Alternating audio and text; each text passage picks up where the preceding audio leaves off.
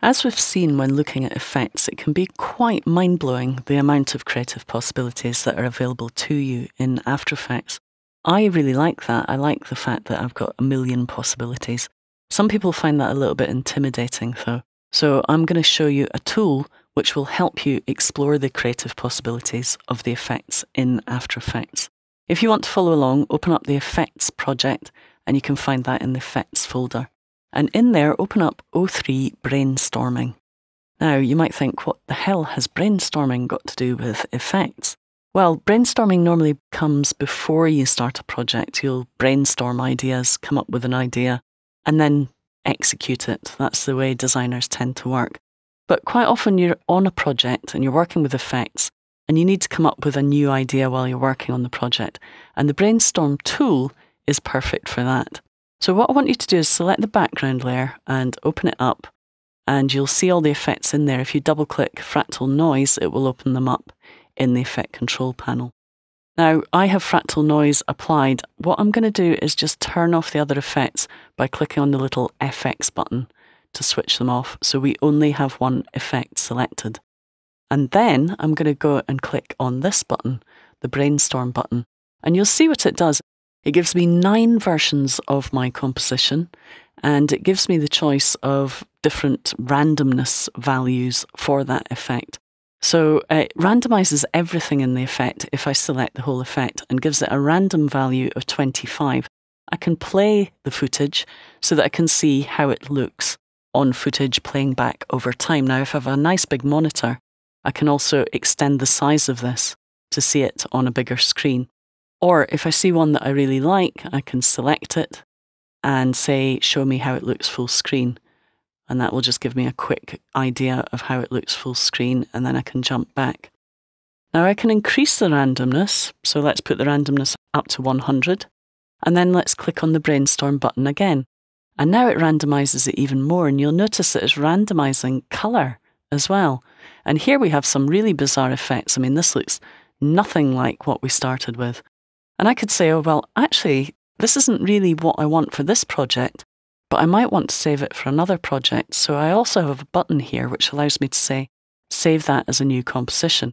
And when we come out of the brainstorm tool, you'll notice that that will be included in my composition panel where I can save it as an animation preset or even as a comp. Let's go back to our full view and let's decide which one is closest to what we want. Well, this one really is. So I'm going to say include that in next brainstorm. And now when I brainstorm again, it's going to randomize based around that. And we start to get more vertical, linear kind of brainstorms.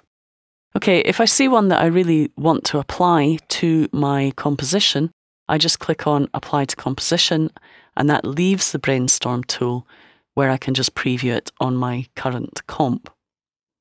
And you'll see that we have a completely different look. Now, this isn't really what I want, but just before we change it, what I want to do is go back to the project panel, and you'll notice that I now have a Brainstorming 2 comp. And this is the comp that was created when I said create a new comp from selection. So I have now that one to explore with different possibilities. So for now, let's go back to brainstorming and I'm just going to undo the brainstorm tool so we're back where we were. Instead of brainstorming everything, I could say, well, what happens if I just brainstorm the complexity? Click on the brainstorm tool and we can select individual properties. Now I have a spread value for complexity. I'm going to put that up to 100 and just click on brainstorm. And you'll notice now I'm getting more or less complexity depending on how much I randomize it. I like this one, so I'm going to say include that in the next brainstorm. The others I'm not too fussed about, so I'll brainstorm again. Now you'll see I'm getting less variation. Complexity doesn't really give me enough variation. So I'm going to say apply to comp for this one. So let's select that one, say apply to comp. Then I'm going to go in and select some different options. Now I'm a bit bored of adjusting fractal noise. So I'm going to try brainstorming Colorama. So I'll click on brainstorm. And now I'm starting to get much more variety in terms of colour. I love this one. So I'm going to say include that in the next brainstorm. But I also like some of the more monochrome ones, so I'm going to include that. And now we'll get some kind of varieties based around those selections. If we increase the randomness up to 100, include that one again, brainstorm, we start to get more brightly coloured brainstorms. So again, I'm going to choose this one, apply it to my comp, and then I'm going to start having a look at some of the other options. So let's tile it. Let's go into Kaleida. And with Kaleida, I'm going to brainstorm that. Okay, and we start to get all these amazing patterns by brainstorming the Kaleida effect. Now, I like that one, so I'm going to say include that. I like this one, we'll include that. Which other ones do I like? I quite like this one. And actually, I like this one.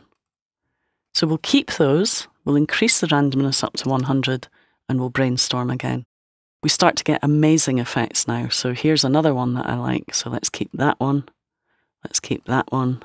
And it starts to become quite difficult to make a decision because they're all really nice. So we'll brainstorm again. So you get the idea. And if we apply these to our comps, so let's save a couple of these as new comps. I'll save that one. I'll save that one. And I'm going to apply this to my composition. So now I have a really nice background for my comp. Let's add a couple of lens effects and a four color gradient to that. I could maybe decide, okay, I don't want it quite as bright, so let's go back into Colorama. So let's go into the output cycle and let's randomize that.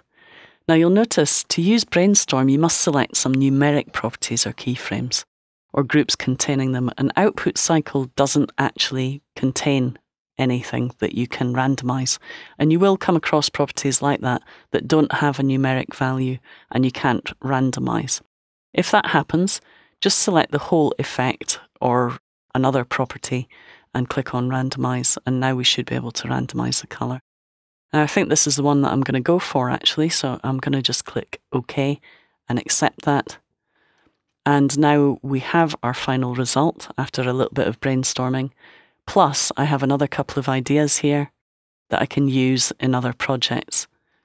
And of course, I can save these as animation presets. So I could come in here, select all these effects. Okay, go to Save Animation Preset, and we'll go into my Animation Presets folder in the Applications folder. So in my After Effects 6 folder in presets, Angie's presets, let's call it backgrounds.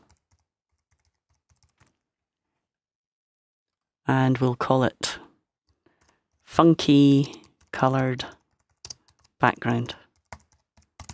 Okay, and very quickly using Brainstorm, you can create some really amazing, fantastic presets.